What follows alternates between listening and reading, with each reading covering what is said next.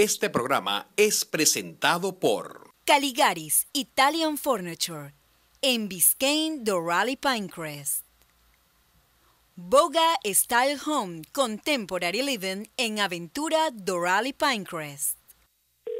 Aló, buenas noches. Aló, aló, buenas noches.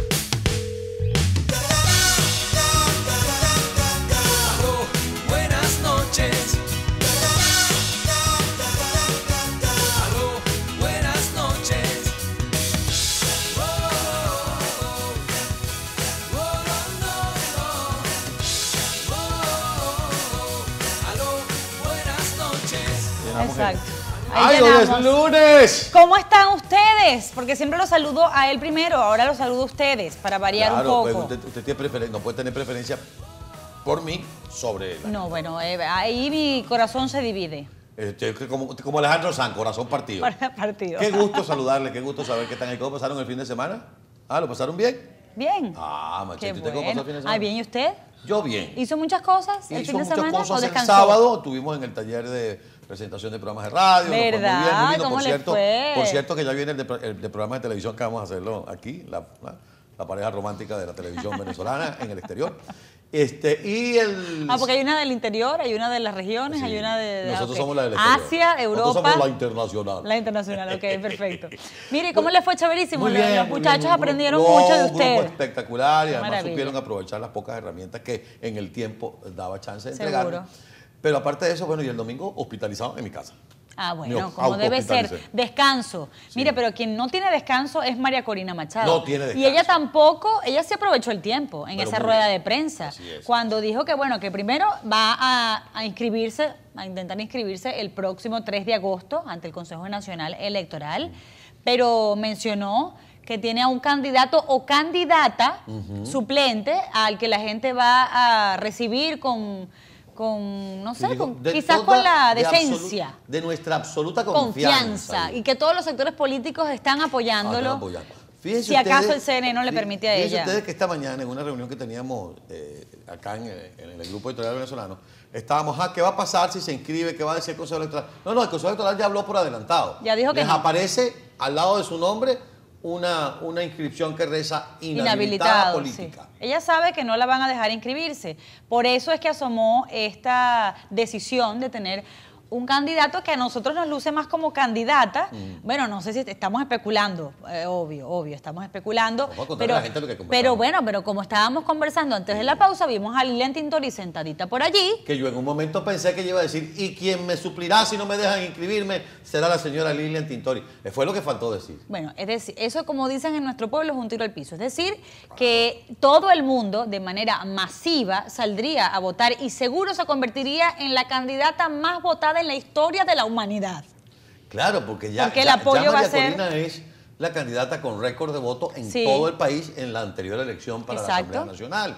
María Corina en un circuito eh, que es eh, Chacao, Baruto, El Altillo, municipio Leoncio Martínez. Sí. Fue la más votada de toda la Asamblea De Nacional. todos los diputados. Por eso el hombre del mazo no hallaba qué hacer con el mazo y le quiso dar un mazazo a María Corina, sacándola de la Asamblea Nacional. Pues ahora, si fuese Lilian la, la suplente la, o la candidata alterna, si no le permite inscribirse, mire, No. eso va, va a marcar récord histórico.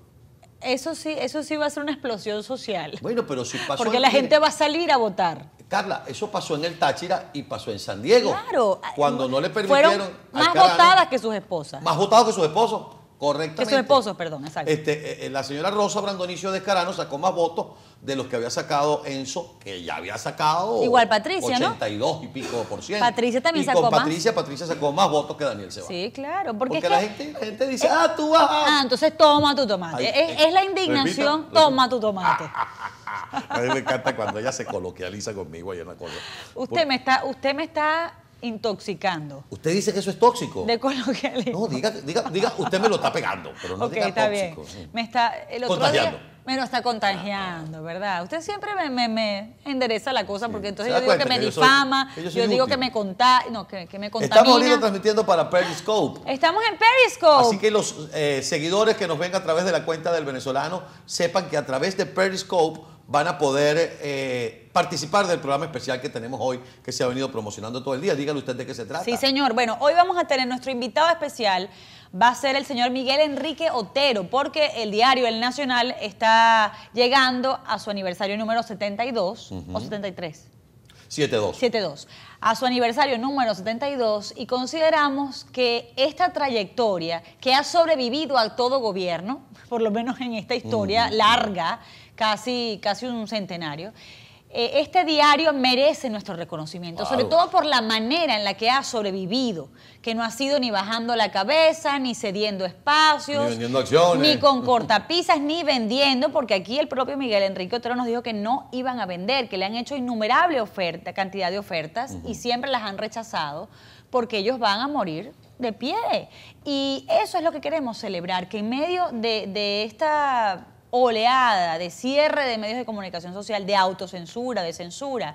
Hay quienes siempre nos, nos reconcilian con la profesión dentro de Venezuela. Y son esos Sí, quienes alzan su voz y se convierten, a pesar de todos los tropiezos y a pesar de todas las amenazas, en la tribuna y la voz de quienes no la tienen. en Y además de. Miguel Enrique Otero, que va a ser nuestro invitado especial por los 72 años del Nacional, van a compartir esta conversación con él, además de la señora Angola, de quien les habla, de todos ustedes a través de Periscope o de la línea telefónica, un grupo eh, muy selecto y muy querido de periodistas, de profesionales de la comunicación, porque a pesar de que muchos di- dirían, no hay nada que celebrar en el caso del Nacional, por el tema de lo que está ocurriendo, de la persecución contra Miguel Enrique, de la cosa con el papel. Sí, yo creo que sí. Hay que celebrar que el Nacional es valiente, que no ha doblado las rodillas, como ha dicho Carla, y que está ahí informando a los venezolanos. Entonces tenemos que celebrar que en Venezuela sigue habiendo una ventana informativa con la gente del Nacional. Claro que sí, son suficientes razones como para tenerlo aquí y hacerle este homenaje, merecido homenaje